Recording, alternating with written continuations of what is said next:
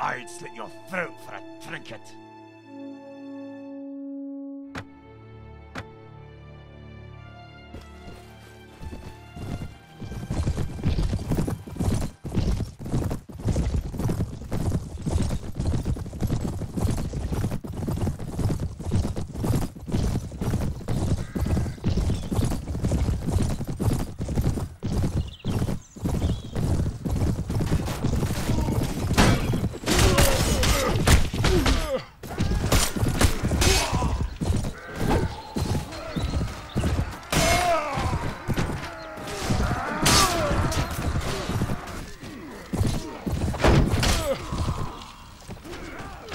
Oh!